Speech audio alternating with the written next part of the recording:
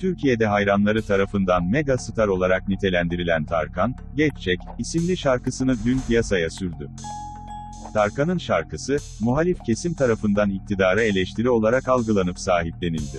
Bunun üzerine sosyal medyada konuyla ilgili yüz binlerce paylaşım yapıldı.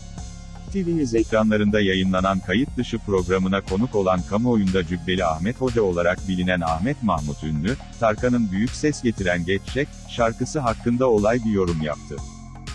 Cübbeli Ahmet Hoca şu ifadeleri kullandı. Tamamen sokak lafları, çarşı pazar.